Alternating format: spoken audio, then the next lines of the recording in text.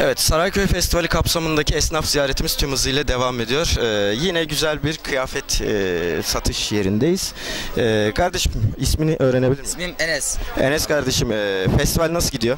Festival son iki gün güzel geçmeye başladı. Sonra yani bir saattir iki saattir de hızlanmaya başladı festivalimiz.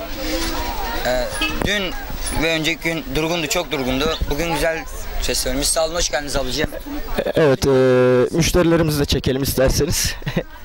evet, e, biz sizi işinizden alıkoymayalım. E, son olarak festivalle, Sarayköy Festivali ile alakalı neler söylemek istersin? Sarayköy Festivali ile alakalı neler söylemek isteriz? Sarayköy'ün insanları çok pazarlıkçı. Sevdiğimiz insanlar. Pazar Evet, olay var Sabri, Sabri yani. Hiç bile yemin ederim. Hayır. Şimdi pazarlığı sevmeseler biz de iş yapamayız yani. Ama yerine göre. Yerine göre biz de onun için söylüyoruz işte ablacığım. Valla müşteri her zaman haklıdır diyelim. Her zaman haklıdır. Müşteri baş tacımız abicim.